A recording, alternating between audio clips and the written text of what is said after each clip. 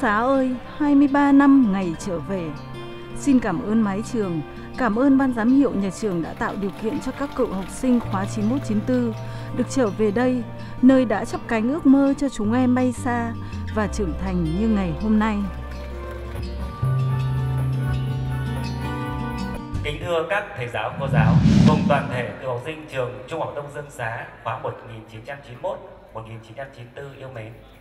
Lời đầu tiên cho phép tôi được xin thay mặt toàn thể cán bộ, giáo viên, nhân viên và học sinh trường Trung học phổ thông Diên Xá xin gửi lời chào nồng nhiệt và lời chúc mừng sức khỏe đến các thầy giáo, cô giáo cùng toàn thể các cựu học sinh khóa 91-94 có mặt ngày hôm nay. Thưa các thầy cô giáo, thưa các anh các chị, chúng tôi thực sự xúc động khi được chào đón các anh chị trở lại ngôi trường thân yêu của mình sau 23 năm xa cách. 23 năm là một chặng đường dài trong cuộc đời của mỗi con người 23 năm cũng đồng thời là một chặng đường lịch sử đối với ngôi trường Trung học phổ thông Dương Xá thân yêu của chúng ta. Biết bao nhiêu đổi thay đến với mỗi con người cũng như mỗi nhà trường trong sự nghiệp giáo dục và đào tạo. Ngày ấy, 23 năm về trước, khi rời xa mái trường, các anh các chị còn là những cô những cậu học trò hồn nhiên, trong sáng, đầy nhiệt huyết trước ngưỡng của cuộc đời. 23 năm sau, khi trở lại mái trường thân yêu, chúng tôi được đón tiếp những con người hoàn toàn khác, những con người đã vững vàng, đã trưởng thành hơn, đã có những vị trí vững chắc trong xã hội. Và các thầy các cô ngày ấy cũng đã hoàn thành xuất sắc nhiệm vụ chồng người do đảng nhà nước nhân dân giao phó để trở về nghỉ ngơi bên gia đình bên những người thân yêu của mình sau cả cuộc đời tận tụy với học sinh hết lòng với sự nghiệp chồng người. Và cũng so với ngày ấy 23 năm về trước 23 năm sau trường chỗ dân Xá đã có rất nhiều những sự thay đổi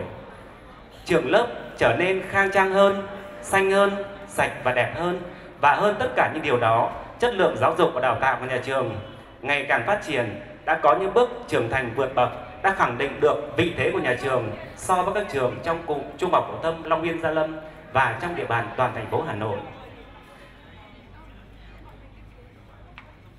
Về quy mô nhà trường, nhà trường đã có số lượng gần gấp đôi so với thế hệ của các anh các chị 23 năm về trước. Và về chất lượng giáo dục